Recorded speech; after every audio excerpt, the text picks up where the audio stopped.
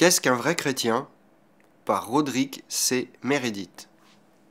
Plusieurs centaines de sectes et de dénominations religieuses se prétendent chrétiennes, mais elles sont toutes différentes dans la forme et souvent même sur le fond. Jésus-Christ reconnaîtrait-il, aujourd'hui, les organisations religieuses qui portent son nom? Quels sont les critères qui définissent un vrai chrétien?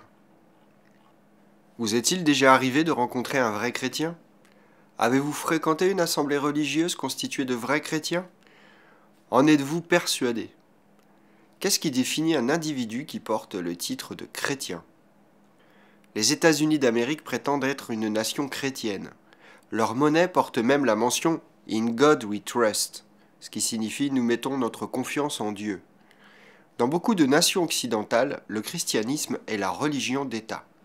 Cependant, dans notre monde rempli de confusion, il y a des centaines et des centaines de sectes et de dénominations qui se prétendent chrétiennes. D'une façon ou d'une autre, elles se différencient par leurs croyances et leurs pratiques particulières. Néanmoins, Chacune d'elles tire son nom du nom de Jésus-Christ. C'est en partie pour cette raison que beaucoup de non-chrétiens ricanent au sujet d'un christianisme qui prétend être d'inspiration divine. Cela n'est pas étonnant puisque beaucoup de grandes guerres, dans l'histoire moderne, ont été déclarées par des nations prétendument chrétiennes. En outre, les statistiques de ces dix dernières années montrent que le nombre de viols, de vols et de meurtres n'a cessé de monter en flèche dans un grand nombre de nations dites chrétiennes. Pourquoi cela? Se pourrait-il qu'on ne comprenne pas réellement ce qu'est le christianisme? Se pourrait-il qu'en dépit du fait que des millions d'individus fortement impliqués dans la vie de leur Église ne saisissent pas ou ne vivent pas l'intégralité de l'enseignement du Christ Dans son ouvrage intitulé Attack upon Christendom, le philosophe moderne, Soren Kierkegaard, écrit Le christianisme du Nouveau Testament n'existe tout simplement pas. À travers les siècles, des millions de gens ont, petit à petit, escamoté Dieu du christianisme et sont parvenus à faire du christianisme l'exact opposé de ce qu'il est dans le Nouveau Testament. Pourquoi cet auteur dit-il cela? Une partie de la réponse réside dans le fait que les guerres les plus grandes et les plus sanglantes, de toute l'histoire humaine se sont déroulées en Europe au cœur de la civilisation chrétienne occidentale. Chacun sait que, durant le Moyen Âge, l'Église dite chrétienne avait directement encouragé une série de guerres saintes connues sous le nom de croisades. Lisez ci-après l'une des supposées bénédictions à laquelle les chrétiens avaient droit lorsqu'ils participaient aux actions meurtrières et sanguinaires des croisés. Le chevalier qui participait à la croisade pouvait donc permettre au côté belliqueux de son talent de s'exercer, sous l'égide et sur commande de l'Église, ce qui satisfaisait son ardent désir de spiritualité et d'obtenir le salut absolu et la rémission de ses péchés. Il pouvait massacrer toute la journée jusqu'à marcher dans le sang jusqu'aux chevilles, puis s'agenouiller à la tombée de la nuit et pleurer de joie devant le sépulcre. Car n'était-il pas couvert du sang qui sortait du pressoir du Seigneur? Croisade, Encyclopædia Britannica, 11e édition.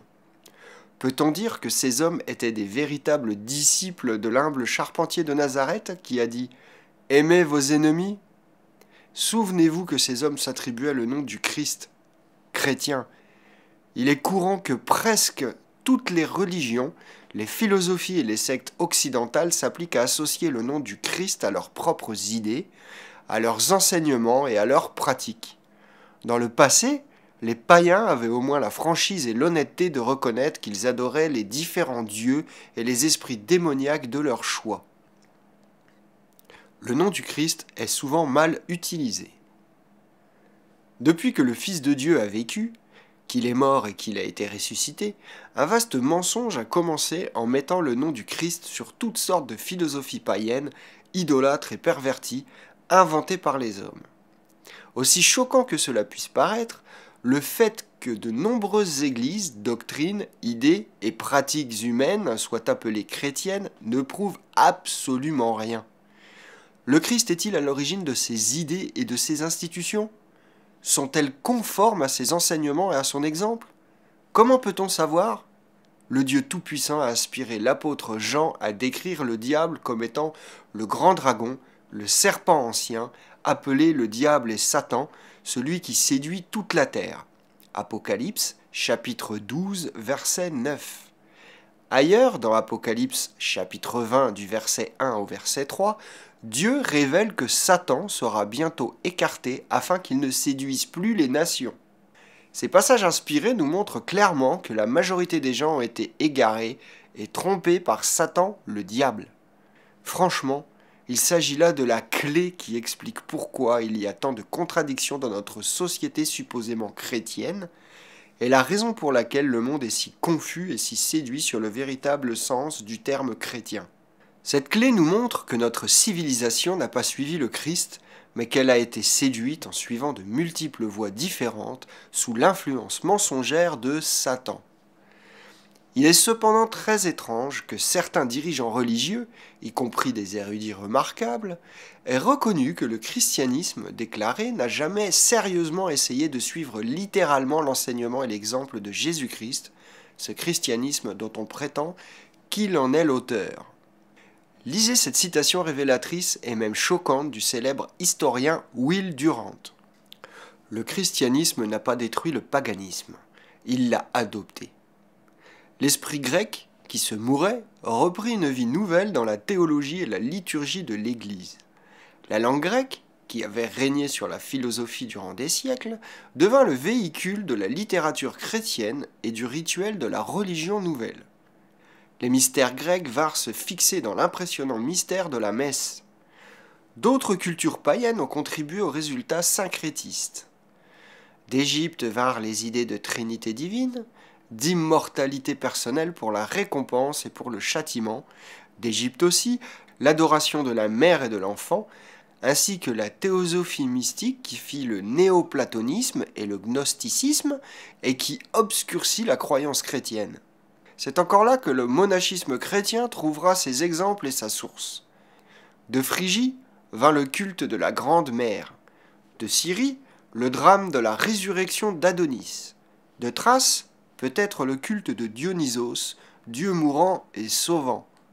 Le rituel mitriaque ressemblait de si près au sacrifice eucharistique de la messe que des pères chrétiens accusèrent le démon d'avoir inventé ces analogies pour égarer les esprits faibles. Le christianisme a été la dernière grande création de l'ancien monde païen. L'Eucharistie était une conception depuis longtemps sanctifiée par la durée. L'esprit païen n'avait pas besoin d'entraînement pour la recevoir. En l'incarnant dans le mystère de la messe, le christianisme devenait la dernière et la plus grande des religions de mystère. Histoire de la civilisation, volume 9, pages 240 et 247, Durant, édition Rencontre, Lausanne en 1963. Ce célèbre historien reconnaît que les dirigeants religieux ne s'étaient ni basés sur la vie de Jésus, ni sur ses enseignements pour établir les standards de leurs églises censément chrétiennes. Posons-nous la question, y aurait-il un meilleur standard possible? Il y a plusieurs années, on avait cité l'évangéliste Billy Graham, qui avait dit que la plupart des Américains croyaient en un Dieu, mais que la majorité n'avait accepté ni le véritable christianisme, ni le judaïsme, ni l'islam. Les gens croient à la Bible, mais ils ne la lisent pas, ou alors ils n'obéissent pas à ses enseignements. US News and World Report, le 4 avril 1994. Ce même article cite le célèbre statisticien George Gallup Jr., qui déclare que l'Amérique est une nation d'illettrés bibliques. Le triste constat est que la majorité des Américains ne savent pas ce qu'ils croient ni pourquoi. La déclaration de George Gallup Jr. est l'une des raisons importantes qui expliquent pourquoi Satan a si bien réussi à séduire la vaste majorité des gens, y compris ceux qui professent le christianisme. Ces prétendus chrétiens ne connaissent pas ce qu'ils croient ni pourquoi. Ils n'étudient pas réellement la Bible et ne la comprennent pas. Ils n'ont qu'une vague idée de ce qu'ils pensent du message biblique. D'autres enquêtes ont révélé que la plupart des Américains ne sont même pas capables de citer le nom du ou de deux évangiles sur les quatre, sans parler de leur contenu. Or, quelques vagues souvenirs sentimentaux de la prière du Christ ou du psaume 23, la Bible demeure un livre mystérieux aux yeux de la plupart des pratiquants. Jésus a dit L'homme ne vivra pas de pain seulement, mais de toute parole qui sort de la bouche de Dieu. Matthieu chapitre 4 verset 4. Comment peut-on vivre de toute parole de la Bible sans savoir ce que celle-ci dit? Et pourtant, la Bible nous donne la connaissance fondamentale sur laquelle le véritable christianisme est édifié. À moins d'avoir prouvé, de manière sérieuse, que la Bible est l'inspiration divine révélée à l'humanité, on est perdu dans le brouillard. Malheureusement, de nos jours, les gens se laissent guider par le dictat de leur conscience sans tenir compte de la compréhension biblique en matière de religion. Ils se forgent généralement des idées et des concepts religieux personnels au gré de leurs souhaits. En conséquence, la confusion est totale. Certains disent J'ai le sentiment de devoir agir comme ceci ou C'est la façon dont je vois cela. La façon dont nous voyons cela présente probablement quelques intérêts au cours d'une conversation autour d'une tasse de thé, mais pour les matières vraiment importantes, ce qui compte, c'est la façon dont Dieu voit les choses. Une dénomination est-elle chrétienne parce qu'elle fait de bonnes œuvres? Nul doute que de bonnes œuvres sont assez couramment pratiquées par une multitude d'organisations religieuses. Lorsque les gens traitent bien leurs prochains, ils en récoltent les bénédictions. En parlant des lois et des principes spirituels bibliques, Jésus a dit Les paroles que je vous ai dites sont esprit et vie. Jean chapitre 6 verset 23. En d'autres termes, ces paroles inspirées décrivent les valeurs et les forces intrinsèques qui opèrent automatiquement en de nombreuses circonstances, tout comme la loi de la pesanteur. Si quelqu'un exerce le bien envers autrui et le traite avec amour et gentillesse, il en résulte automatiquement d'une façon ou d'une autre, une bénédiction qui s'ensuit en retour. Ce principe reste vrai et ne dépend pas de la religion à laquelle on adhère. Cependant, des actions comme celles qui nous rendent personnellement serviables et aimables, ou les bonnes œuvres, qui sont soutenues par des organisations diverses, ne qualifient pas les gens à hériter la vie éternelle dans le royaume de Dieu. J'ai entendu, plus d'une fois, de la part de fidèles ministres du Christ, que certains des individus les plus aimables, les plus généreux et les plus religieusement dévoués étaient les bouddhistes thaïs. Il émanait d'eux une chaleur personnelle, une grâce, une gentillesse et un esprit de service rarement égalés dans notre monde chrétien, en dépit de leur fausse religion qui rejette Jésus-Christ, le véritable sauveur de l'humanité. De nos jours, Beaucoup d'organisations chrétiennes et séculières méritent d'être citées pour leur dévouement et pour leurs actions charitables envers ceux qui sont dans le besoin ou qui sont défavorisés. Mais, si ces groupes rejettent les lois divines et le mode de vie révélé par le Christ, quel sera le but ultime de leurs bonnes œuvres? L'histoire nous montre que de tels individus sont capables de faire de bonnes œuvres aujourd'hui et de prendre les armes le lendemain pour exterminer leurs prochains. Sans connaître et sans craindre le véritable Dieu, et sans être guidé par son Saint-Esprit, il n'est pas possible de vivre de manière durable comme les chrétiens devraient vivre. Jésus-Christ a dit Ceux qui me disent Seigneur, Seigneur, n'entreront pas tous dans le royaume des cieux, mais seulement celui qui fait la volonté de mon Père qui est dans les cieux. Plusieurs me diront en ce jour-là Seigneur, Seigneur, n'avons-nous pas prophétisé par ton nom? N'avons-nous pas chassé les démons par ton nom Et n'avons-nous pas fait beaucoup de miracles par ton nom? Alors je leur dirai ouvertement, Je ne vous ai jamais connu. Retirez-vous de moi, vous qui commettez l'iniquité. Matthieu chapitre 7 du verset 21 au verset 23. Plus tard, le Christ a déclaré au sujet de ceux qui l'adorent sans le servir. C'est en vain qu'ils m'honorent, en donnant des préceptes qui sont des commandements d'hommes vous abandonnez le commandement de Dieu et vous observez la tradition des hommes. Marc chapitre 7, du verset 7 au verset 8. Quoique les bonnes œuvres fassent partie intégrante du christianisme, elles ne suffisent pas. Nous devons faire des efforts pour développer la bonté, la charité et la serviabilité à l'égard des autres.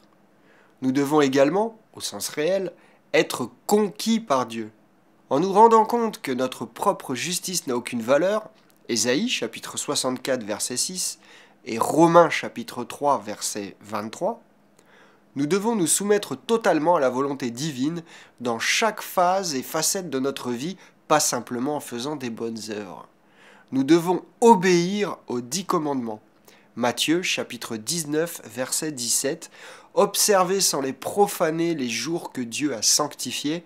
Exode chapitre 20 verset 8 et permettre à Jésus-Christ de vivre pleinement sa vie en nous à travers le Saint-Esprit. Galates chapitre 2 verset 20. Toutes ces choses ont pour but de nous préparer à devenir des rois et des sacrificateurs dans le futur gouvernement mondial du Christ. 1 Corinthiens chapitre 6 du verset 2 au verset 3 et dans Apocalypse chapitre 5 du verset 9 au verset 10. Le Christ et le Père ont besoin de savoir où nous voulons aller. Nous devons prouver que nous obéissons avec persévérance et que nous développons un bon caractère, une réelle attitude de soumission, dans le but de satisfaire aux conditions édictées par Dieu pour assister le Christ dans son royaume à venir. Les principales dénominations chrétiennes n'ont jamais réellement enseigné ces vérités. Elles n'ont pas expliqué le fantastique plan divin et le but de l'existence humaine. Elles n'ont pas préparé, activement, leurs fidèles à régner en tant que rois et sacrificateurs dans le gouvernement divin à venir bientôt sur cette terre, sous l'autorité de Jésus-Christ. Apocalypse chapitre 2 du verset 26 au verset 27.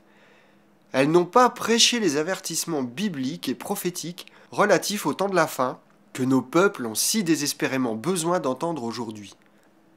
En fait, la plupart d'entre elles n'ont pratiquement jamais compris la partie importante de la Bible consacrée aux prophéties. C'est pourquoi elles ont rarement quelque chose à dire à ce sujet. À cause de toutes ces choses, les dénominations principales ne font ni l'œuvre de Dieu, ni le travail consistant à préparer leurs membres pour le royaume de Dieu. Lisez et relisez attentivement cette importante brochure et vous comprendrez ce que le véritable christianisme signifie réellement. Un mensonge organisé. Toujours est-il que le véritable christianisme et les véritables chrétiens existent. Néanmoins, il pourrait être plus difficile de les trouver que vous ne pourriez le penser. Et si vous êtes disposé à examiner ce que la Bible enseigne, vous découvrirez pourquoi il y a si peu de véritables chrétiens. Laissez-moi vous expliquer cela. Jésus a dit Car plusieurs viendront sous mon nom, disant C'est moi qui suis le Christ, et ils séduiront beaucoup de gens. Matthieu chapitre 24 verset 5. Remarquez que ces individus ne viennent pas sous leur propre nom.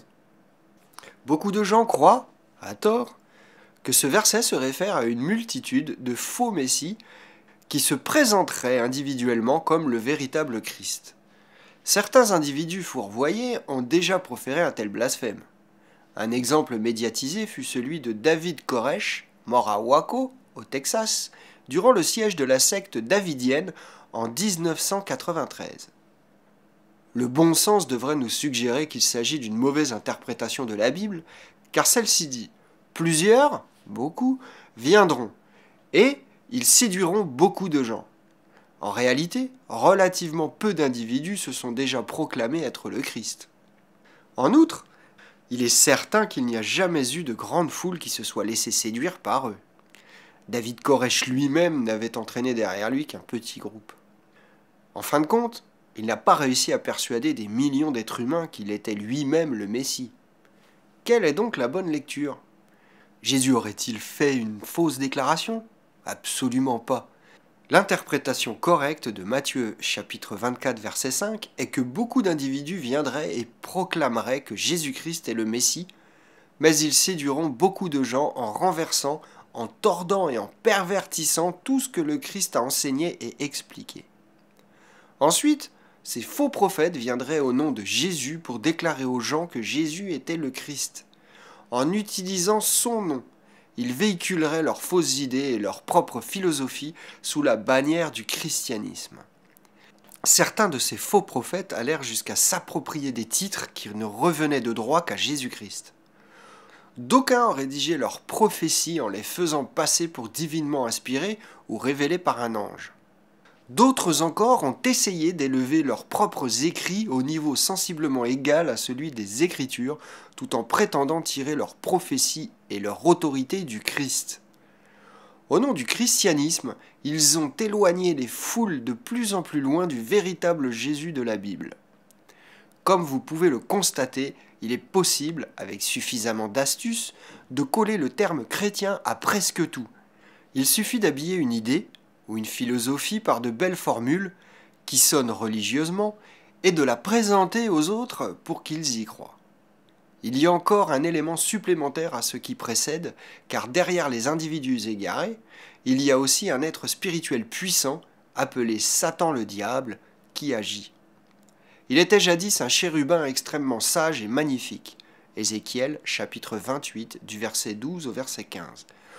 Aujourd'hui, il est encore diaboliquement astucieux, très attirant et très convaincant pour influencer les individus sans méfiance voir 2 Corinthiens chapitre 11 verset 14. Dieu appelle Satan le prince de la puissance de l'air, l'esprit qui agit maintenant dans les fils de la rébellion. Éphésiens chapitre 2 verset 2. Et dans Apocalypse chapitre 12 verset 9, Satan est représenté par le grand dragon, le serpent ancien, appelé le diable et Satan, celui qui séduit toute la terre. En conséquence, si Satan agit dans les fils de la rébellion et s'il séduit toute la terre, il est évident que des milliards de gens sont séduits par lui. Le fait est que, sous l'influence puissante mais invisible de Satan, il y a eu toutes sortes d'idées d'apparence chrétienne qui ne sont pas du tout chrétiennes. Certaines d'entre elles viennent tout droit du paganisme. En outre, les enseignements clairs de Jésus-Christ sur notre façon de vivre ont été complètement étouffés sous une avalanche de croyances, de doctrines et de liturgies étranges. Dans son ouvrage intitulé The Story of the Christian Church, Jess Lyman Hurlbut fait ressortir ce point saillant. La dernière génération du premier siècle, s'étendant de 68 à 100 après Jésus-Christ, est appelée l'ère des ténèbres, en partie parce que les nuages de la persécution avaient couvert l'Église, mais plus encore parce que de toutes les périodes de l'histoire, elle est celle au sujet de laquelle nous avons le moins d'informations. Nous ne disposons plus de la clarté du livre des actes pour nous guider, et nul auteur de cette époque n'a comblé cette lacune de l'histoire. Nous aurions aimé pouvoir lire un récit des actions ultérieures accomplies par les assistants de Paul, comme Timothée, Apollos et Tite, mais tout cela, de même que les autres amis de Saint Paul, n'ont laissé de traces après leur mort. Cinquante ans après la vie de Saint Paul, un rideau tombe sur l'Église et toute tentative pour voir au travers est restée vaine. Enfin, lorsqu'il se lève, vers 120 après Jésus-Christ, avec les écrits des premiers pères de l'Église, nous retrouvons une Église très différente, à mains égards, de celle qui existait du temps de Saint Pierre et de Saint Paul. Édition de 1970, page 33. Dans la citation ci-dessus, cet auteur protestant reconnaît que l'Église, qui se prétendait chrétienne, était devenue très différente après que les premiers apôtres moururent. Pourquoi? Qui a donné à quelqu'un l'autorité de changer les croyances et les pratiques de l'Église? Ne serait-ce pas plutôt des hommes séduits qui auraient personnellement endossé cette responsabilité pour exécuter ces profonds changements? Ce que Jésus a effectivement enseigné. Pour comprendre comment les diverses églises se distinguent autant les unes des autres, il est nécessaire de remonter à la source du christianisme, en un mot, à Jésus-Christ. Si quelqu'un sait ce que le véritable christianisme signifie réellement, nul doute que c'est Jésus-Christ lui-même. En tant que jeune juif, vivant en Israël, Jésus fut élevé dans le respect des dix commandements. Il observa le sabbat hebdomadaire divin, ainsi que les jours saints annuels que Dieu avait révélés à l'ancien Israël. Il semble que cela arrange les érudits bibliques d'oublier ces simples fêtes, de les enjoliver ou de prétendre qu'ils sont hors de propos. Comme nous allons le démontrer, le fait que le Christ observa les lois divines rend la différence énorme. Quant à ceux qui prétendent le contraire, ils mettent grandement en péril leur vie éternelle. Maintenant, soyez très attentifs. Un jour, un jeune homme questionna Jésus en ces termes. Maître, que dois-je faire de bon pour avoir la vie éternelle? Jésus lui répondit. Si tu veux entrer dans la vie, observe les commandements. Lesquels? lui dit-il.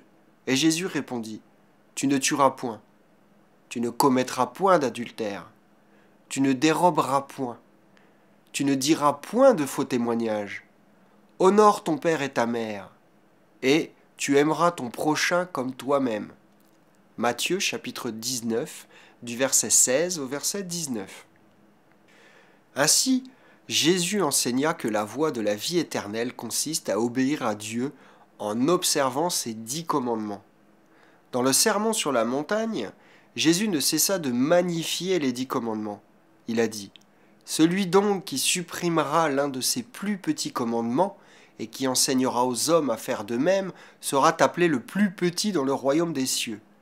Mais celui qui les observera et qui enseignera à les observer, celui-là sera appelé grand dans le royaume des cieux. Matthieu chapitre 5 verset 19. Une étude attentive montre que, loin de supprimer les commandements, Jésus les a rendus encore plus obligatoires. Il a révélé qu'ils formaient une loi spirituelle qui incluait les exigences littérales que Dieu avait formulées à l'ancien Israël, mais avec une portée encore plus grande. Il enseigna que ses disciples ne devaient pas se limiter à ne pas tuer, mais qu'ils devaient, en plus, rejeter tout esprit de meurtre, de colère incontrôlée, de haine et d'emportement qui pourrait éventuellement germer dans leur cœur. Matthieu chapitre 5 du verset 21 au verset 22. Il montra qu'un chrétien ne devait jamais céder à l'adultère, mais qu'en outre, quiconque regarde une femme pour la convoiter a déjà commis un adultère avec elle dans son cœur. Verset 28. Par conséquent, la seule pensée ou une attitude d'adultère est une violation de la grande loi spirituelle exprimée dans les dix commandements. Qui donc a l'autorité de supprimer ces instructions divines tout à fait claires? La loi de liberté. Pensez-y. Si le monde entier se mettait à vivre selon les dix commandements, magnifiés par Jésus-Christ, nous n'aurions plus ni crime, ni meurtre, ni adultère, ni de foyer brisé, ni d'enfants abandonnés, ni de guerre. Le sentiment profond de stabilité, de paix et de sécurité qui couvrirait le monde aurait un effet certain et définitif sur un grand nombre de guérisons. La dépression et les maladies mentales seraient en diminution importante. Même les maux et les souffrances physiques diminueraient car ils ne subiraient plus les effets néfastes d'un mauvais moral sur notre état. L'obéissance à la loi divine nous libère d'une conduite nuisible. L'apôtre Jacques l'a nommé la loi de liberté. Il a écrit Car quiconque observe toute la loi, mais pêche contre un seul commandement, devient coupable de tous.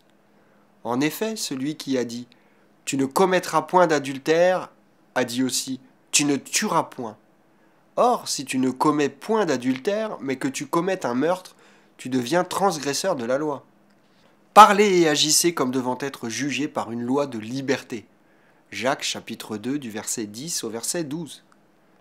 Cet apôtre du Nouveau Testament fut donc inspiré à nous encourager à observer la loi divine résumée par les dix commandements. Il a dit également que si nous n'observons qu'une partie de cette loi, nous désobéissons au reste et que nous devenons des transgresseurs de la loi. Verset 9. Par là, nous voyons que les dix commandements ne furent ni supprimés, ni cloués sur la croix. Autrement, ils ne pourraient pas être la cause d'une transgression. Magnifiée par le Christ, la loi de liberté divine apporterait aux hommes la paix mondiale et le bonheur individuel, à condition que tout le monde s'y soumette. Cela sera-t-il possible? Un jour Oui, absolument. L'épître aux Hébreux mentionne une prophétie inspirée de Jérémie qui annonce une époque de mille ans sous le gouvernement du Christ. Mais voici l'alliance que je ferai avec la maison d'Israël après ces jours-là, dit le Seigneur. Je mettrai mes lois dans leur esprit, je les écrirai dans leur cœur, et je serai leur Dieu, et ils seront mon peuple. Personne n'enseignera plus son concitoyen, ni personne son frère, en disant Connais le Seigneur, car tous me connaîtront, depuis le plus petit jusqu'au plus grand d'entre eux. Hébreu, chapitre 8, du verset 10 au verset 11. Il est donc clair que le mode de vie du millénium sera basé sur la loi divine spirituelle, les dix commandements. Tout le monde aimera, adorera et vénérera le véritable Dieu et accomplira ce qu'il commande. Chacun apprendra à aimer son prochain comme soi-même. grâce à la véritable conversion et à la force de l'Esprit de Dieu, chacun parviendra à aider, à servir, à édifier et à encourager tous les êtres humains à avoir une vie heureuse et productive. Lorsque la loi de liberté divine sera comprise et appliquée par chacun, le monde entier sera vraiment en paix comme cela n'est jamais arrivé depuis Adam et Ève dans le Jardin d'Éden. Que devriez-vous faire? Si vous voulez devenir un véritable chrétien, la sorte de chrétien dont la Bible parle, il y a certaines choses à faire. Premièrement, vous devez impérativement vous prouver qu'il existe un Dieu réel, pas simplement une essence du bien, quelque part dans les cieux, mais le personnage spirituel concret qui a créé et qui gouverne actuellement tout l'univers. Comme il est écrit dans l'épître aux Hébreux, Or, sans la foi, il est impossible de lui être agréable, car il faut que celui qui s'approche de Dieu croit que Dieu existe et qu'il est le rémunérateur de ceux qui le cherchent. Hébreux chapitre 11 verset 6.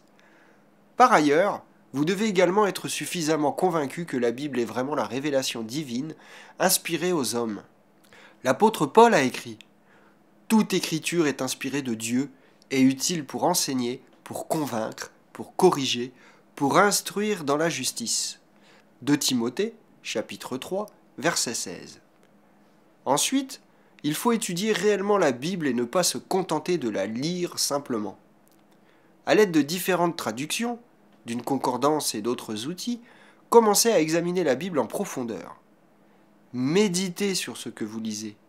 Priez et soyez déterminés à obéir à la parole divine, c'est-à-dire à faire ce que Dieu dit. En effet, Jésus-Christ a dit L'homme ne vivra pas de pain seulement, mais de toute parole qui sort de la bouche de Dieu. Matthieu chapitre 4 verset 4. Vous devez vous contraindre à vivre sincèrement de toute parole de Dieu. Ensuite, grâce à cette approche personnelle et sincère pour rechercher le véritable Dieu et sa volonté, vous aurez l'assurance d'être conduit par le Saint-Esprit pour voir que Jésus-Christ de Nazareth est le Fils de Dieu et notre Sauveur, celui qui vous sauve de vos péchés. L'apôtre Paul décrit cela en ces termes. Mais Dieu prouve son amour envers nous en ce que, lorsque nous étions encore des pécheurs, Christ est mort pour nous. À plus forte raison donc, maintenant que nous sommes justifiés par son sang, serons-nous sauvés par lui de la colère. Car si, lorsque nous étions ennemis, nous avons été réconciliés avec Dieu par la mort de son Fils, à plus forte raison, étant réconciliés, serons-nous sauvés par sa vie? Romains chapitre 5 du verset 8 au verset 10.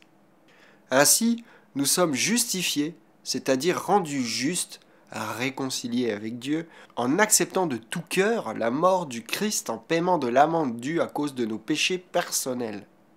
Chacun de nous doit continuellement ressentir profondément, individuellement et avec fidélité, un sentiment de gratitude envers Jésus qui sait dépouiller lui-même pour nous.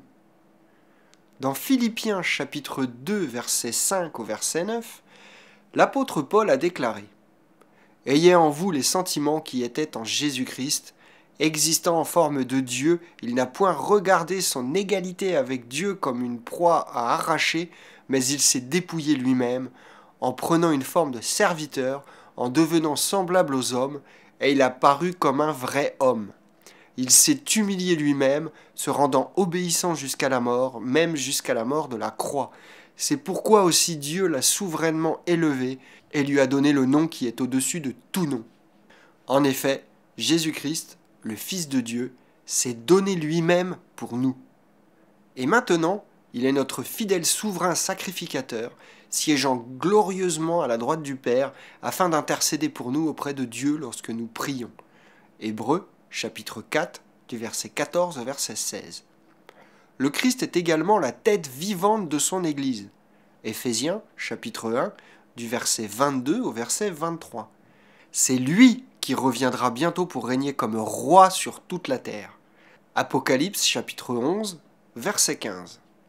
Vous, personnellement, vous devez accepter le Jésus-Christ réel de la Bible en tant que votre sauveur personnel, Seigneur et Maître, souverain sacrificateur et roi à venir. Votre engagement vers le Christ doit être entier et loyal. Ce qui suit est un point très important. Vous ne devez pas seulement accepter la personne de Jésus. Il faut également croire à son message, à ce qu'il a enseigné et expliqué. Lui-même a dit Pourquoi m'appelez-vous Seigneur, Seigneur, et ne faites-vous pas ce que je dis? Luc chapitre 6, verset 46. Nous avons déjà cité un passage similaire dans Matthieu chapitre 7, verset 21. Ceux qui me disent Seigneur, Seigneur n'entreront pas tous dans le royaume des cieux, mais seulement celui qui fait la volonté de mon Père qui est dans les cieux. Quel fut le message que Jésus prêcha? Or, après que Jean été mis en prison, Jésus s'en alla en Galilée, prêchant l'évangile du royaume de Dieu et disant Le temps est accompli et le royaume de Dieu approche. Repentez-vous et croyez à l'évangile. Marc chapitre 1, verset 14 à verset 15 version Osterwald 1996. Jésus vint prêcher la bonne nouvelle du royaume ou du gouvernement de Dieu.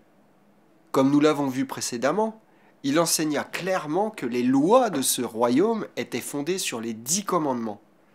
En conséquence, pour être un véritable chrétien, vous devez vous repentir de vos péchés et vous engager volontairement à observer les lois de ce futur gouvernement, croire à la bonne nouvelle du royaume de Dieu et accepter Jésus-Christ en tant que votre sauveur personnel du péché et votre maître, votre patron absolu à qui vous voulez obéir avec amour. Le repentir et le baptême. Dans Jacques chapitre 2 verset 9, nous avons déjà vu que les pécheurs sont condamnés par la loi. L'apôtre Jacques a également déclaré Car quiconque observe toute la loi mais pêche contre un seul commandement devient coupable de tous. Verset 10. La loi comporte dix points fondamentaux, les dix commandements. Si nous transgressons l'un d'entre eux, nous sommes accusés par la loi. La Bible définit clairement le péché. Vers la fin de sa vie, l'apôtre Jean écrivit Le péché est la transgression de la loi. 1 Jean chapitre 3 verset 4. Plus loin, il écrivit encore Quoi que ce soit que nous demandions, nous le recevrons de lui, parce que nous gardons ses commandements et que nous faisons ce qui lui est agréable. Verset 22. Ce verset montre clairement qu'il est important de garder les lois divines, à tel point que, dans une large mesure, les réponses à nos prières en dépendent. Il est très important que les véritables chrétiens soient conscients d'être responsables devant Dieu d'observer les dix commandements. Le Nouveau Testament nous dit ce qu'est le péché. Il ne dit pas que c'est un péché d'aller danser ou d'aller voir un film au cinéma. Car, bien souvent, le péché ne peut pas être défini par une action spécifique. Mais le péché implique toujours les mauvaises pensées et les mauvaises attitudes qui enfreignent l'esprit de la loi divine. Il est certain que le genre de danse qui incite à la licence sexuelle est toujours condamnable. De la même façon, la vision de films chargés de violence et de luxure ouvre sans aucun doute la voie aux mauvaises pensées qui influencent votre esprit. C'est pourquoi il faut se rappeler que la norme n'est pas voilà comment je considère les choses ou voilà ce que dit tel ou tel. La véritable référence qui distingue le bien du mal est la loi divine. Le péché est la transgression de la loi. Peut-on être plus clair? Ensuite, un véritable chrétien doit assimiler la loi divine de sorte qu'elle fasse partie intégrante de sa pensée et de son identité, la véritable texture de son être. Pour y parvenir, il doit être rempli et guidé par le Saint-Esprit. Car tous ceux qui sont conduits par l'Esprit de Dieu sont fils de Dieu, déclara l'apôtre Paul dans Romains chapitre 8 verset 14. Mais comment recevoir le Saint-Esprit? Et comment agit-il? La façon dont on reçoit le Saint-Esprit fut révélée par l'apôtre Pierre. Il a dit Repentez-vous, et que chacun de vous soit baptisé au nom de Jésus-Christ pour le pardon de vos péchés, et vous recevrez le don du Saint-Esprit. Acte chapitre 2, verset 38. Puisque votre vieux moi doit être baptisé, c'est-à-dire immergé, figurativement enseveli dans l'eau, pour la rémission des péchés, vous devez vous repentir et vous détourner du péché. Répétons que le péché est la transgression de la loi.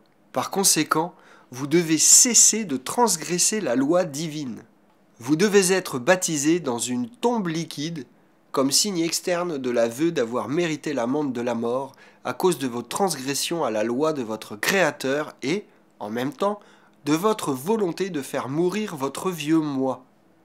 La parole divine nous dit Ignorez-vous que nous tous qui avons été baptisés en Jésus-Christ, c'est en sa mort que nous avons été baptisés Nous avons donc été ensevelis avec lui par le baptême en sa mort, afin que, comme Christ est ressuscité des morts par la gloire du Père, de même nous aussi nous marchions en nouveauté de vie.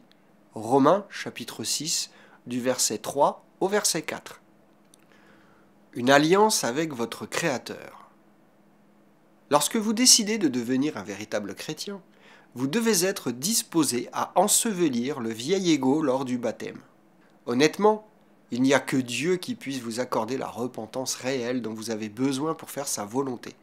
Acte chapitre 11 verset 18. Mais si, de son côté, il vous ouvre l'esprit afin de vous permettre de tout savoir en ce qui concerne le véritable christianisme, et s'il vous appelle à faire partie de la première résurrection, vous devez, pour votre part, soumettre entièrement votre volonté à votre Créateur. Vous devez vous repentir amèrement et sincèrement d'avoir suivi votre propre voie au cours des années, et vous repentir d'avoir continuellement transgressé et piétiné la sainte loi de Dieu, tant dans vos pensées que par vos actions. La vraie repentance consiste à être profondément désolé, à tel point que vous décidez de faire demi-tour pour changer de voie. Ensuite, vous devez conclure une alliance avec votre Créateur, non seulement pour cesser de transgresser les dix commandements, mais, avec la force du Saint-Esprit promis par Dieu, de commencer à les observer en tant que mode de vie. Vous devez vous engager qu'avec l'aide divine, vous ne permettrez plus à vos désirs, à la vanité ou à d'autres dieux de s'interposer entre vous et votre Créateur. Vous vous rappellerez qu'il faut observer son saint jour de sabbat, honorer véritablement vos parents, ne pas tuer et, en outre, veiller attentivement à préserver vos pensées de toute idée de meurtre, de haine ou de violence à l'égard de votre prochain. Vous ne vous contenterez pas de ne pas pratiquer l'adultère, mais vous n'aurez pas même des pensées qui mènent à la convoitise. Matthieu chapitre 5 du verset 27 au verset 28. Vous devez également vous engager de ne pas dérober, de ne pas mentir et de ne rien convoiter. Comme nous allons l'expliquer, c'est la puissance du Christ en vous qui vous rend capable d'observer les dix commandements en tant que mode de vie. Rappelez-vous qu'après vous être réellement repenti de votre rébellion contre Dieu et d'avoir désavoué vos voies et vos désirs charnels personnels, vous devez vous faire baptiser pour montrer que vous acceptez le Christ et que vous avez foi dans le sang versé du Christ en paiement de l'amende de vos péchés passés. Après le baptême, vous recevrez la promesse du don du Saint-Esprit divin. Ensuite, grâce au Saint-Esprit, le Christ mettra sa nature en vous, son amour, sa foi, sa force pour vaincre vos faiblesses, les tentations de Satan et le monde qui nous entoure. L'amour que vous recevez par l'Esprit de Dieu n'est pas un simple amour humain. Il s'agit de l'amour divin. L'amour de Dieu est répandu dans nos cœurs par le Saint-Esprit qui nous a été donné. Romains chapitre 5 verset 5. Toutefois, comment cet amour opère-t-il? Laissons la parole divine nous fournir la réponse car l'amour de Dieu consiste à garder ses commandements, et ses commandements ne sont pas pénibles. 1 Jean chapitre 5 verset 3. C'est l'amour de Dieu, placé en nous grâce au Saint-Esprit, qui nous rend capables de garder ses commandements. Ce n'est pas grâce à notre force mentale, mais grâce à la puissance spirituelle de Dieu, transmise par le Saint-Esprit, que nous pouvons suivre l'exemple parfait de Jésus-Christ. Vous avez la faculté de permettre à Jésus de vivre la même sorte de vie en vous qu'il a vécu il y a presque 2000 ans, en gardant les mêmes lois divines, en observant les mêmes jours saints commandés par Dieu, en demeurant à l'écart des mondanités, de la politique et des luttes. Ensuite, en priant sérieusement et en étudiant régulièrement la Bible, en jeûnant occasionnellement, en remportant des victoires spirituelles et en croissant, vous permettrez à Dieu de vous façonner à son image, afin d'être ressuscité un jour comme un enfant né de l'Esprit, doté de la même nature que lui. Voilà, en fait, exposer le but de votre existence. la force spirituelle dont nous avons besoin. Comme nous l'avons vu, nous avons besoin de l'amour que Dieu, seul, peut nous accorder afin d'observer la loi divine spirituelle et de vaincre nos voies pécheresses. Il s'agit d'une promesse que Dieu réalise au moyen de son esprit. En outre, nous avons appris que l'amour de Dieu opère en nous lorsque nous observons sa loi. 1 Jean chapitre 5 verset 3. L'apôtre Jean, que Jésus aimait particulièrement, écrivait encore à la fin de l'ère apostolique que l'amour de Dieu consiste à garder ses commandements. Or, en dépit des arguments théologiques du clergé moderne, prétendant le contraire, l'apôtre Jean a déclaré que les commandements divins ne sont pas pénibles. Le véritable chrétien a en lui l'amour de Dieu qui coule comme des fleuves d'eau vive. Jean chapitre 7 du verset 38 au verset 39. En étudiant attentivement la Bible et en s'en nourrissant, en priant Dieu avec ferveur, chaque jour à genoux, pour demander la force spirituelle, la foi, le conseil et l'amour dont il a besoin, le véritable chrétien croit en esprit. Il est manifeste que des millions de prétendus chrétiens n'ont jamais changé. Il est possible qu'ils aient mûri au sein d'une église particulière ou qu'ils aient accepté Jésus au cours d'un rassemblement évangélique. Mais, dans la plupart des cas, le Christ qu'ils ont accepté n'est pas le véritable Christ de la Bible. La plupart du temps, l'évangile qu'on leur a enseigné n'est pas l'évangile de la Bible. Il ne s'agit que d'un message incomplet concernant la personne de Jésus-Christ, un enseignement selon lequel on n'a seulement besoin que de croire qu'il est mort pour nos péchés. D'habitude, on ne dit même pas que c'est par un mensonge colossal que Satan proclame qu'on n'a pas besoin d'observer les dix commandements. On ne leur dit pas que le Christ doit vivre la même sorte de vie en eux qu'il a vécu en tant qu'être humain il y a quelques 2000 ans. On ne leur annonce pas la glorieuse bonne nouvelle du monde de demain et que tous les véritables saints sont en train de se préparer à devenir des rois et des sacrificateurs qui assisteront le Christ à gouverner le monde. 1 Corinthiens chapitre 6 du verset 2 au verset 3, Apocalypse chapitre 2 verset 26, chapitre 3 verset 21 et chapitre 5 versets 9 à verset 10. L'apôtre Paul fut inspiré à nous mettre en garde au sujet du faux christianisme qui commençait déjà à se répandre à son époque.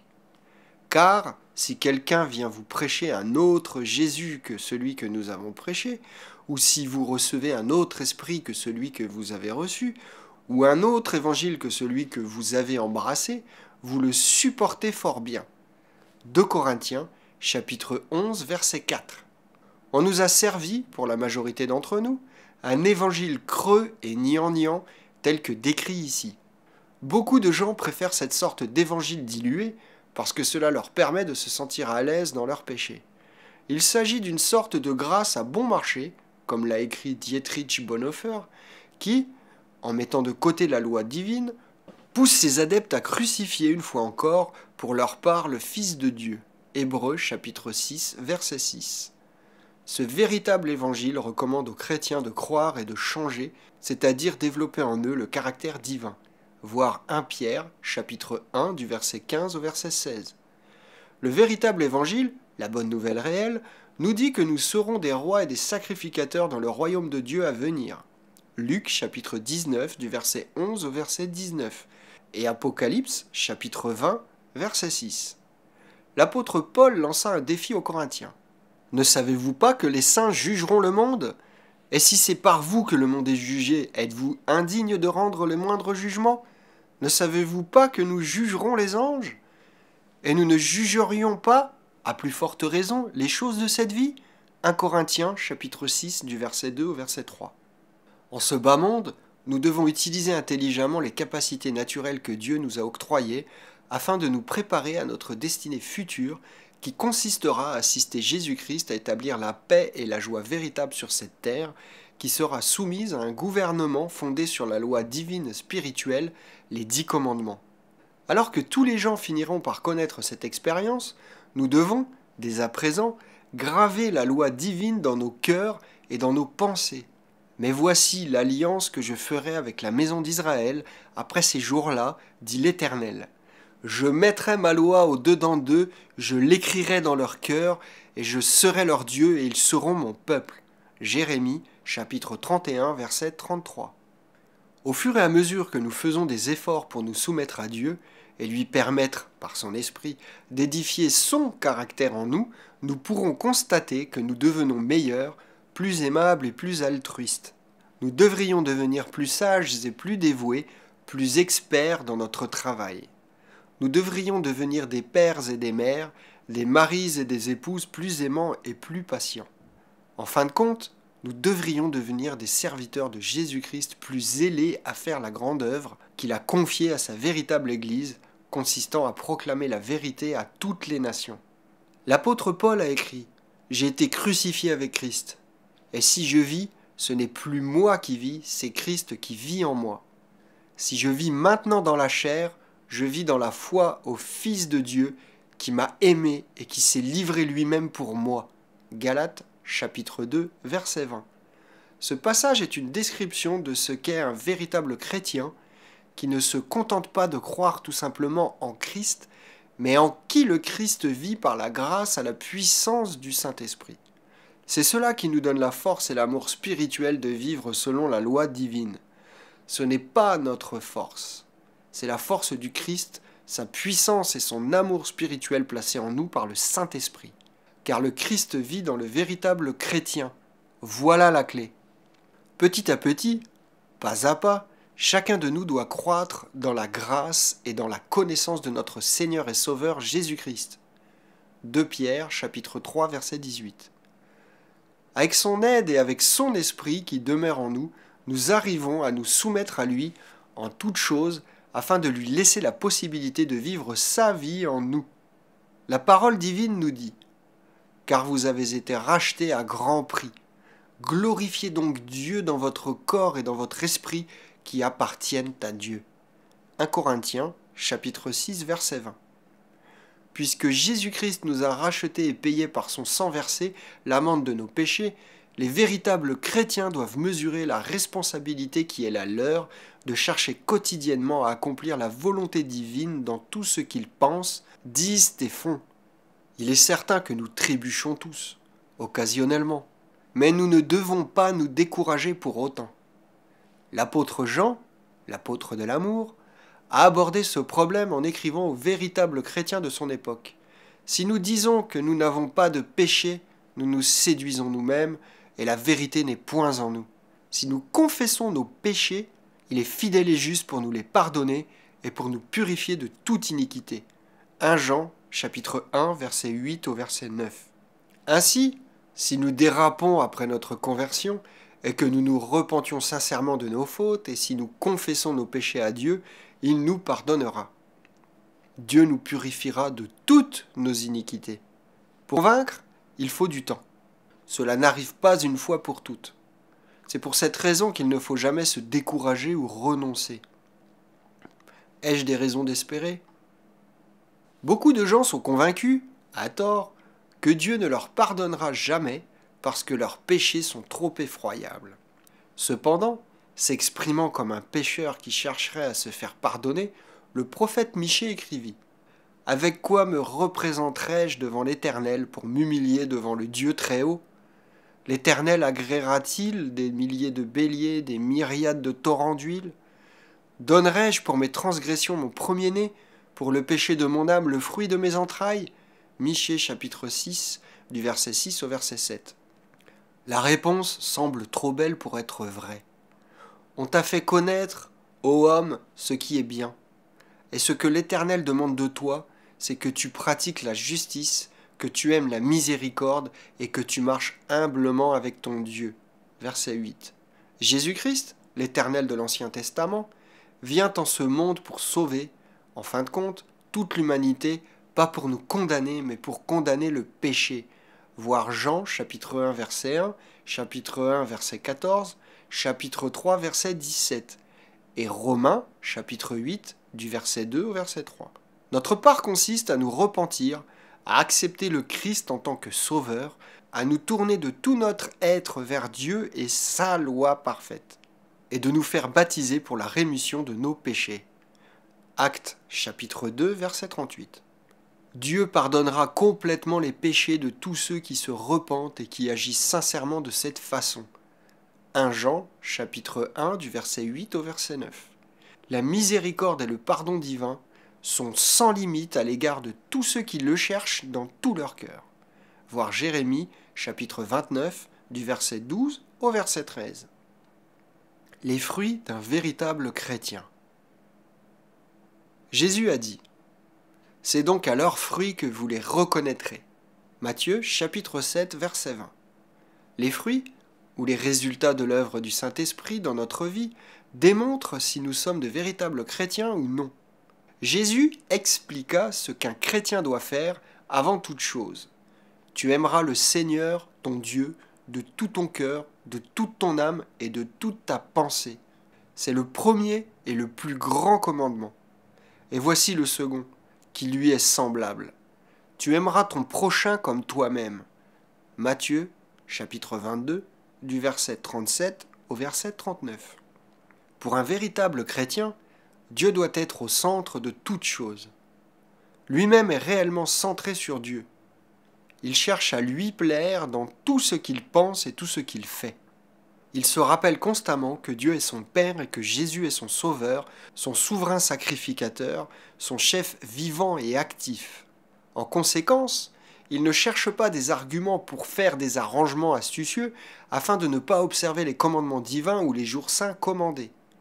Au contraire, le véritable chrétien se nourrira au Christ en étudiant régulièrement et en buvant la parole inspirée de Dieu, la Bible, voir Jean chapitre 6 du verset 56 au verset 57. Il aura pris l'habitude de rechercher Dieu en priant sérieusement comme faisait Jésus. Marc chapitre 1 verset 35 il apprendra à marcher avec Dieu, à raisonner et à agir comme lui et le Christ.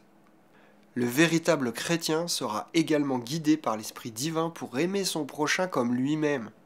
Il s'efforcera, avec l'aide de Dieu, d'être aimable, aimant et généreux. Il cherchera à vivre selon les instructions du Christ. Il y a plus de bonheur à donner qu'à recevoir. Acte chapitre 20, verset 35. Tout disciple de Jésus s'efforce d'être un donneur afin d'aider, de servir, d'encourager et de soutenir son prochain. Il met tout son cœur à aider à la propagation de la précieuse vérité divine auprès des autres. Comme l'a écrit le prophète Daniel, ceux qui auront été intelligents brilleront comme la splendeur du ciel, et ceux qui auront enseigné la justice à la multitude brilleront comme les étoiles à toujours et à perpétuité. Daniel chapitre 12, verset 3. Dans sa vie et en personne, le chrétien extériorisera de plus en plus le fruit spirituel décrit par l'apôtre Paul. Mais le fruit de l'esprit, c'est l'amour, la joie, la paix, la patience, la bonté, la bienveillance, la foi, la douceur, la maîtrise de soi. Galates chapitre 5 verset 22. Grâce à l'esprit du Christ vivant en lui, le véritable chrétien fera preuve d'amour, un intérêt sincère pour tous les hommes, de chaleur et d'affection pour tous ceux qui l'entourent. Il aura sans cesse un amour empreint d'obéissance pour Dieu et pour le Christ, son Sauveur. Il mesurera constamment l'importance du sacrifice de Jésus-Christ, qui descendit sur la terre pour souffrir, répandre son sang et mourir pour nous réconcilier avec Dieu le Père. Cela lui procurera un sentiment d'amour éternel et de loyauté envers Jésus-Christ. En outre, le véritable chrétien possédera une joie et une paix intérieure inestimables. L'apôtre Paul a écrit Et la paix de Dieu, qui surpasse toute intelligence, gardera vos cœurs et vos pensées en Jésus-Christ. Philippiens chapitre 4 verset 7. Chaque chrétien croîtra dans un esprit de bonté, de patience, de bienveillance et de douceur, comme l'indique le passage cité plus haut. Il y a encore un fruit très important, la foi. La force spirituelle d'avoir confiance en Dieu et de démontrer son engagement chrétien dans tous les domaines de la vie. Le roi David fut inspiré à écrire. Alors tous ceux qui se confient en toi se réjouiront, ils auront de l'allégresse à toujours, et tu les protégeras. Tu seras un sujet de joie pour ceux qui aiment ton nom car tu bénis le juste, ô Éternel. Tu l'entoures de ta grâce comme d'un bouclier. Psaume 5, verset 12 au verset 13. Le dernier fruit de l'esprit est la maîtrise de soi, la force spirituelle de maîtriser ses péchés et ses désirs pour ne pas désobéir à Dieu. Une fois encore, si vous soumettez votre cœur, votre esprit et votre volonté à Dieu, si vous acceptez Jésus-Christ, et si vous êtes baptisé en son nom, vous avez la promesse que la puissance du Saint-Esprit vous donnera la force et la maîtrise de soi. Dans sa lettre à Timothée, l'apôtre Paul a écrit Car ce n'est pas un esprit de timidité que Dieu nous a donné. Au contraire, son esprit nous remplit de force, d'amour et de sagesse. 2 Timothée chapitre 1 verset 7. L'Esprit de Dieu nous donne la force d'obéir à ses commandements et notre obéissance prouve que cet esprit est en nous. L'apôtre Jean a écrit Celui qui garde ses commandements demeure en Dieu et Dieu en lui. Et nous connaissons qu'il demeure en nous par l'esprit qu'il nous a donné. 1 Jean chapitre 3 verset 24. L'apôtre Jean a également déclaré Si nous gardons ses commandements, nous savons par cela que nous l'avons connu. Celui qui dit Je l'ai connu et qui ne garde pas ses commandements est un menteur, et la vérité n'est point en lui. Mais l'amour de Dieu est véritablement parfait en celui qui garde sa parole. Par cela nous savons que nous sommes en lui. Celui qui dit qu'il demeure en lui doit marcher aussi comme il a marché lui-même. 1 Jean chapitre 2 verset 3 au verset 6. D'après une autre version, ces deux dernières déclarations sont paraphrasées en ces termes. Il s'agit d'une façon de voir si vous êtes chrétien ou si vous ne l'êtes pas. Celui qui se prétend chrétien devrait vivre comme le Christ a vécu. Et nous savons que le Christ a observé les commandements de son Père, y compris le quatrième commandement, pour nous laisser un exemple. Le Christ a été un exemple pour nous, en observant le quatrième commandement et ainsi que tous les autres commandements de son Père. Jean chapitre 15 verset 10. Cependant, n'espérons pas atteindre la perfection au cours de notre vie. Nous avons déjà appris que nous devons croître dans la grâce et dans la connaissance. La vie d'un véritable chrétien est faite de victoires et de croissance qui nous rapprochent de la perfection de Jésus-Christ, même dans nos pensées et dans nos désirs les plus intimes. Pour le véritable chrétien, l'avenir magnifique qui s'annonce a beaucoup plus de valeur que toutes les épreuves, les tests et les douleurs de croissance voir Romains chapitre 8, verset 18. Gardez les yeux sur le but.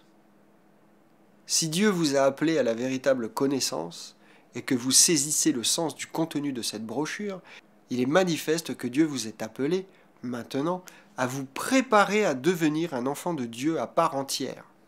2 Corinthiens chapitre 6 verset 18. La signification et l'ultime destinée de votre appel sont fantastiques. Si, chaque jour, vous orientez vos pensées, votre temps, votre énergie et toute votre vie à laisser Jésus-Christ vivre sa vie en vous, vous édifiez de plus en plus le caractère divin. Mois après mois, année après année, vous apprenez à penser, à agir et à vivre comme le Christ lui-même. En fin de compte, au retour de Jésus-Christ sur la terre en tant que roi des rois, vous serez ressuscité, c'est-à-dire changé instantanément de chair en esprit. 1 Thessaloniciens, chapitre 4, du verset 16 au verset 17. En tant qu'enfant spirituel, né de Dieu, vous serez aux côtés de Jésus-Christ pour gouverner les nations de la terre. Apocalypse, chapitre 2, verset 26. Et pour apporter enfin la paix et la joie au monde entier. Vous serez alors glorifié comme membre dirigeant du royaume ou gouvernement de Dieu. L'apôtre Jean a écrit Bien-aimés, nous sommes maintenant enfants de Dieu, et ce que nous serons n'a pas encore été manifesté, mais nous savons que, lorsqu'il paraîtra, nous serons semblables à lui, parce que nous le verrons tel qu'il est. 1 Jean chapitre 3 verset 2. À la résurrection, les saints seront parfaitement semblables au Christ. Dieu leur confiera la fantastique opportunité ainsi que la responsabilité de superviser le gouvernement des villes et des nations de la terre l'apôtre Jean fut inspiré à nous révéler la prière des saints dans Apocalypse chapitre 5 du verset 9 au verset 10.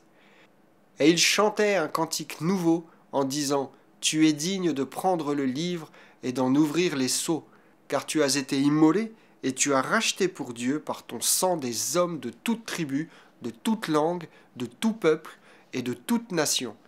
Et tu as fait d'eux un royaume et des sacrificateurs pour notre Dieu et ils régneront sur la terre.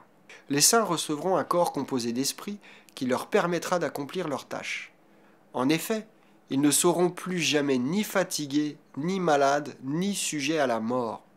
Les saints ressuscités, composés d'esprit et remplis d'énergie et de joie, vivront à jamais dans la famille divine parce qu'ils auront laissé Dieu édifier en eux la sagesse et le caractère du Christ en vue de gouverner avec lui la terre entière et même à juger les anges. L'apôtre Jean poursuivit Quiconque a cette espérance en lui se purifie comme lui-même est pur. 1 Jean chapitre 3 verset 3. Il y a véritablement une raison transcendante à devenir un authentique chrétien. Ceux qui comprennent la vérité divine ont tout à gagner à céder au Dieu suprême qui nous a créés, qui a permis que son Fils devienne notre Sauveur et Seigneur, à vivre de toute parole de Dieu, à garder ses commandements, à lui permettre d'édifier son caractère en nous et ainsi nous préparer pour le réel monde de demain, le royaume à venir de notre Dieu qui sera bientôt établi sur la terre. Ne croyez pas que je sois venu pour abolir la loi ou les prophètes. Je suis venu non pour abolir, mais pour accomplir. Car, je vous le dis en vérité, Tant que le ciel et la terre ne passeront point, il ne disparaîtra pas de la loi un seul iota ou un seul trait de lettre, jusqu'à ce que tout soit arrivé. Celui donc qui supprimera l'un de ces plus petits commandements, et qui enseignera aux hommes à faire de même, sera appelé le plus petit dans le royaume des cieux. Mais celui qui les observera, et qui enseignera à les observer, celui-là sera appelé grand dans le royaume des cieux. Matthieu chapitre 5 du verset 17 au verset 19.